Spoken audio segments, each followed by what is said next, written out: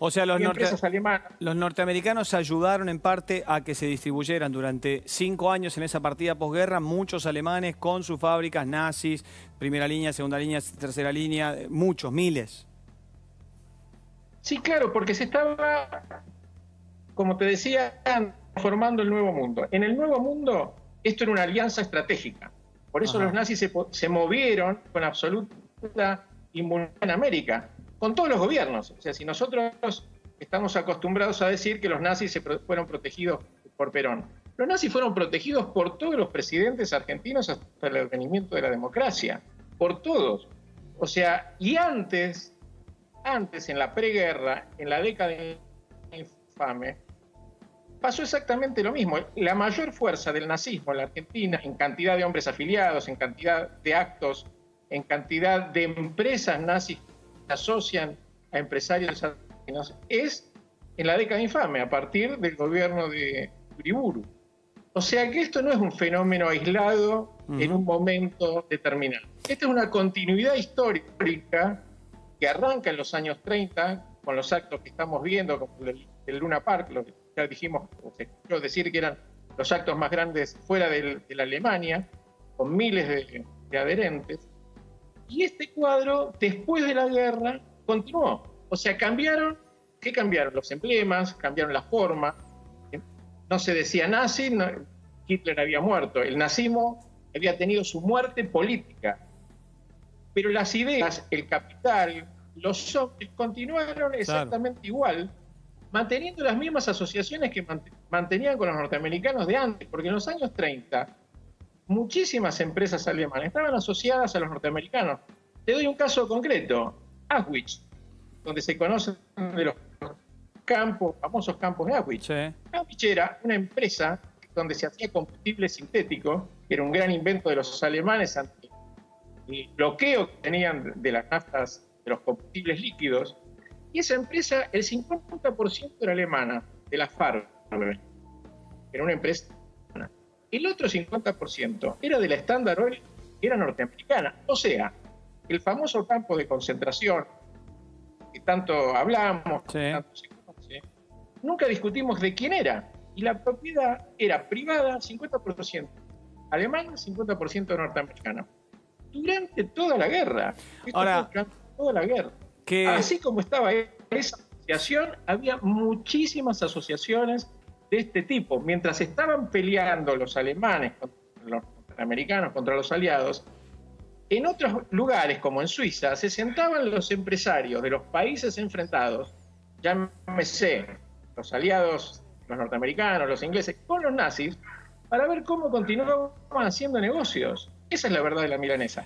Todo lo demás es un cuento rosa con que nos durmieron la conciencia durante muchos años. bueno, eh, más valor toma desde mi punto de vista, independientemente de la, la aberración que hicieron y, y lo que uno siempre está en contra del hijaputés que hicieron, todo lo que ya sabemos, toda la descripción de lo que hizo Hitler, eh, de, de- de las más de 6 millones de personas eh, eliminadas, como decían ellos, por muerte porque no les servían o porque le parecía que no, no servían para la humanidad o porque no eran de la raza aria, porque los judíos esto, porque los judíos lo otro, una cosa terrible para la humanidad. A- en, en ese grado de inteligencia y de hijaputés, Bebe, y te doy pie para tu pregunta, termino mi reflexión, más me asombra el grado de inteligencia en favor de todo esto, porque todo este plan de sostenerse con otro nombre, Hitler ha muerto, nació, pero con otro nombre, en el tiempo, posguerra, distribuirse como se distribuyeron, salir como salieron, toda esa logística es de verdaderos hijos de putas, pero con una gran inteligencia. ¿Me explico? Sí, y aparte con un gran nivel de, de cobertura en ese sentido. Por eso, a Claro. ver, digo, todo esto pareciera tener más sentido si hacemos lo que vos sugerías, ¿no? Desaprender todo lo que nos han enseñado en, términos de historia. Ahora, te pregunto a vos como historiador, digo, ¿cuán difícil es eh, romper ese esquema tan establecido desde hace tantos años? Sí, sí, claro que es, que es difícil. Eh, yo pasé por varias etapas, ¿no? Inclusive de descreimiento personal por la duda y por el convencimiento. Ahora, ¿cuál es el tema acá? El tema no es Hitler. El tema no es Hitler. El tema es que si Hitler sobrevivió, uno empieza a hacer preguntas incómodas. Claro. ¿Cómo fue? ¿Por Claro. ayuda de quién?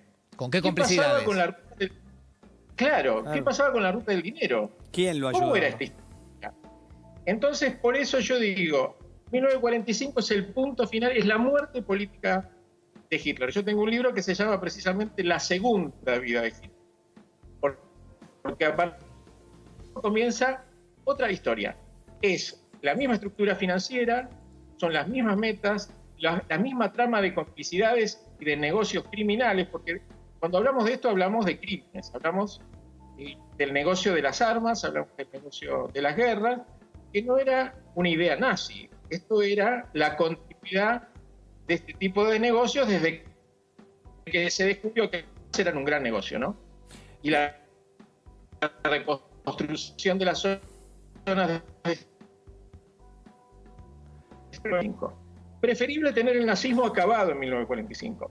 Mejor no hablar de otra cosa, porque si Hitler escapó, comenzamos a preguntar todo lo incómodo que compromete a los sectores que han permanecido como limpios, entre comillas, hasta el día de hoy.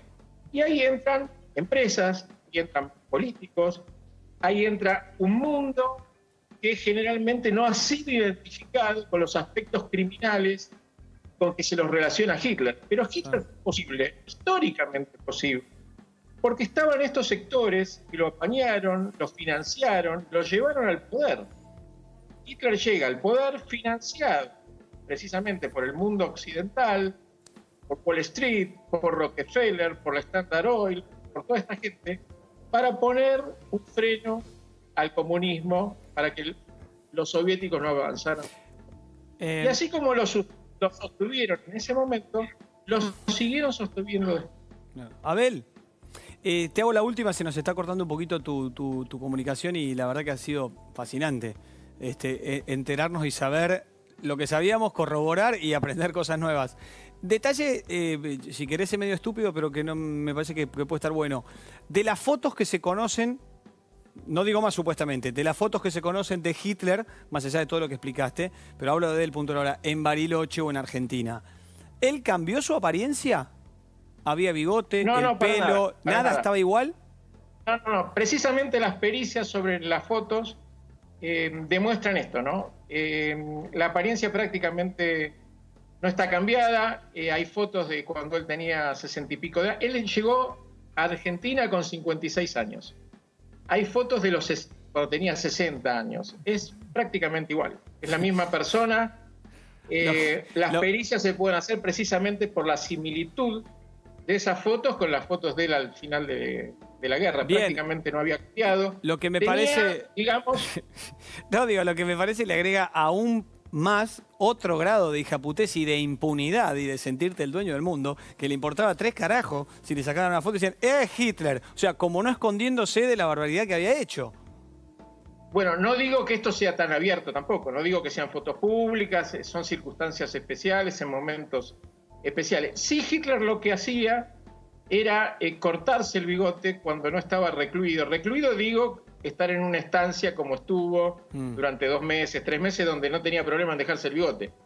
Pero en los momentos que él viajaba o tenía, este, sí, digamos, distintos traslados, eh, no solo en el país, sino eh, hacia otros países de América donde estuvo, un, digamos, una medida de seguridad era estar sin el bigote. Y sin el bigote y sin el jopo, con el jopo eh, cortado, el característico jopo cortado, si haces ese juego en un Photoshop, le sacás el bigote y le sacás el jopo, la verdad que es una persona muy difícil de identificar. Que se parece a cualquier otra, claro. Abel, te mando un beso muy grande, extraordinaria tu lección. Gracias, eh, muy amable. Bueno, gracias a ustedes. Saludos. Un placer, ¿eh? Abel Basti, eh, lo buscas así en Instagram. Abel-Basti con B larga, espectacular todo lo que nos contó.